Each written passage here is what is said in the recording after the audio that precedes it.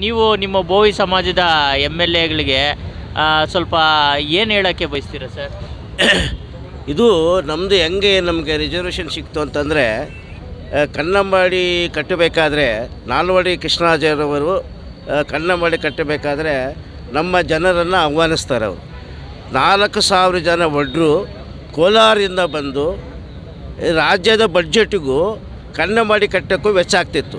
ಆದರೆ ನಮ್ಮ ಜನ ಕನಿಷ್ಠ ಕೂಲಿ ತೆಗೆದುಕೊಂಡು ಇಪ್ಪತ್ತು ವರ್ಷಗಳಷ್ಟೇ ಎಷ್ಟೋ ಬಲಿದಾನ ಆಗಿದೆ ಅದರಲ್ಲಿ. ಇಪ್ಪ ನಾಲ್ಕು ಸಾವಿರ ಜನರಲ್ಲಿ ಬಲಿದಾನ ಆಗಿದೆ. ಆ ಥರ ತ್ಯಾಗ ಮಾಡಿ ಕಟ್ಟಿದ್ದಕ್ಕೆ ನಮ್ಮನ್ನು ನಾಲ್ವಡ ಕೃಷ್ಣರಾಜವರು ರಾಜಭೋವಿಗಳು ಅಂತಂದರು. ನಮ್ಮನ್ನು ಪಾಳೆಗಾರನಾಗಿ ಮಾಡಿಕೊಂಡಿದ್ರು. ಅದು ಅಲ್ಲದಲ್ಲೇ ನಮಗೆ ರಿಸರ್ವೇಷನ್ ಸಿಗಲಿಕ್ಕೆ ಇಡೀ ಇಂಡಿಯಾದಲ್ಲಿ ಪ್ರಪ್ರಥಮವಾಗಿ ನಾಲ್ವಡ ರಾಜರವರು ನಮಗೆ ಅವಕಾಶ ಕೊಟ್ಟಿದ್ದಾರೆ. ಇದನ್ನು ಬಳಸಿಕೊಂಡು ಬಳಸಿಕೊಂಡು ಗೆದ್ದಿರ್ತಕ್ಕಂಥ ಅರವಿಂದ ಲಿಂಬಾವಳಿಯವರಿಗೆ ನಾವಿಲ್ಲಿ ಬರಬಾರ್ದು, ಕುತ್ಕೋಬಾರ್ದು. ಅವರಿಗೆ ತಿಳ್ಕೋಬೇಕು ಅವರು, ಅವರೇ ಮಾಡಬೇಕು ಸಾಲ್ವೇಷನ್ನು ಅಲ್ವಾ? ಬದ್ಧತೆಯಿಂದ ಎಲ್ಲಿ ಆರಿಸಿ ಬಂದಿರಿ, ಯಾವ ಜನಾಂಗದಿಂದ ಆರಿಸಿ ಬಂದಿರಿ, ಆ ಜನಾಂಗದ ಬಳಿ ಹೋಗಿ ಪ್ರಾಬ್ಲಮ್ ಸಾಲ್ವ್ ಮಾಡಬೇಕು. ಕೊಟ್ಟೇಶಿ ಬಸ್ಕೊಂಡು ಅವ್ರು ಕೊಟ್ಟು ಇಪ್ಪತ್ತು ಮೂವತ್ತು ವರ್ಷ ದಿವಸ ಆಯಿತು. ಆದರೂ ಕೂಡ ಯಾವುದೇ ರೀತಿಯಿಂದ ಕೇರ್ ಮಾಡ್ತಾಯಿಲ್ಲ ಸುಮ್ಮನೆ ಅಲ್ಲ.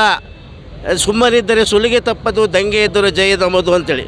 ಮತ್ತು ನಮ್ಮ ಬದುಕನ್ನು ಇವತ್ತು ಎಷ್ಟೋ ಕ್ವಾರಿಗಳಲ್ಲಿ ಜೀತದಾಳಗಳಾಗಿ ನಮ್ಮ ದುಡಿತಾ ಇದ್ದಾರೆ. ಶ್ರೀಮಂತರು ಮುಂದುವರೆದ ಜನ ನಮ್ಮ ಜೀತದಾಳ ಇಟ್ಟುಕೊಂಡು ಕೂಲಿ ಮಾಡಿಕೊಂಡು ಎಷ್ಟೋ ಅಂಗಡದಲ್ಲಿ ಹಗರಣದಲ್ಲಿ ಚೇನ್ ಕಟ್ಟಿ ನಮ್ಮನ್ನು ದುಡಿಸ್ಕೊಂಡಿದ್ದಾರೆ. ಎಷ್ಟೋ ಜನ ಸ್ಫೋಟ ಆಗಿ ಬಲಿದಾನ ಆಗಿದ್ದಾರೆ.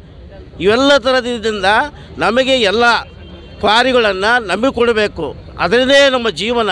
ಬಂಡೆ ಕಲ್ಲುಗಳು ಪುಡಿ ಪುಡಿ ಮಾಡಿ. ಏನ್ರಿ ನಾಲ್ವಡಿ ಕೃಷ್ಣ ಮೂಲ ಸೌಕರ್ಯ ಏನು? ಮಾದ ಇವತ್ತು ಮೈಸೂರು ತುಂಬಿದೆ ಅಂತಂದರೆ ನಮ್ಮರ ತ್ಯಾಗದಿಂದ, ಸೇವೆಯಿಂದ. ಅದರಿಂದ ಸರ್ಕಾರವು ಒಂದು ನಿಗಮ ಮಾಡಿದೆ. ನಿಗಮ ಏನಂದರೆ ಲೂಟಿ ಮಾಡ್ತಾ ಇದೆ. ನಾನು ನಿಗಮದಲ್ಲಿ ಕೆಲಸ ಮಾಡಿ ಬಂದೀನಿ. ನಿಜವಾದ ಬಡವರಿಗೆ ಸಿಗುವುದಿಲ್ಲ. ಯಾರೋ ದಲ್ಲಾಳಿಗಳ ಮುಖಾಂತರ ಯಾವ ಜನರಲ್ ಮ್ಯಾನೇಜರ್ ಅಂತ ನಾಗರಾಜು, ಆ ಲೀಲಾವತಿ ಹಾಂ ಆ? ಅದೆಲ್ಲ ಮಾಡ್ತಾ ನಿಗಮಗಳಿಗೆ ಸೌಲಭ್ಯ ಸಿಕ್ಕಿಲ್ಲ, ಬಡವರಿಗೆ ಸಿಕ್ಕಿಲ್ಲ ಅಂತ ಹೇಳ್ತಾರೆ ನಾನು. ಏನ್ರಿ, ಬಡವರಿಗೆ ಸಿಕ್ಕಿಲ್ಲ. ಆದರೂ ಸಿಗೋ ತನಕ ನ್ಯಾಯವಾಗಬೇಕು ಅದು ತನಿಖೆ ಆಗೋಬೇಕು. ನಿಜವಾದ ಬಡವರಿಗೆ ಮನೆ ಬಾಗಿಲಿಗೆ ಹೋಗಿ ಸೌಲಭ್ಯ ಕೊಡಬೇಕು. ಕರೋನಾ ಕಾಲದಲ್ಲಿ ನಮ್ಮ ಜನರು ಎಷ್ಟೋ ಜನ ಸ ನರಳಿದ್ದಾರೆ ಸಂಕಷ್ಟದಿಂದ ತೊಂದರೆ ಪಟ್ಟಿದ್ದಾರೆ. ಅವರಿಗೆ ಪರಿಹಾರ ಸಿಗಬೇಕು. ಎಲ್ಲ ಎಂ ಎಲ್ ಎಗಳು, ಅವರಾಗಲಿ, ಇವರಾಗಲಿ, ಎಲ್ಲರೂ ಮನೆ ಬಾಗಿಲಿಗೆ ಹೋಗಿ ಕೊಡಬೇಕು ಸೇವೆ ಕೊಡುವವರೆಗೂ ನಾವು ಬಿಡುವುದಿಲ್ಲ ಅಂಥೇಳಿ ಈಗ ಆಗಿರ್ತಕ್ಕಂಥ ಅವ್ಯವಹಾರಗಳ ತನಿಖೆ ಆಗಬೇಕು ಕೂಡಲೇ ನ್ಯಾಯ ಸಿಗಬೇಕು.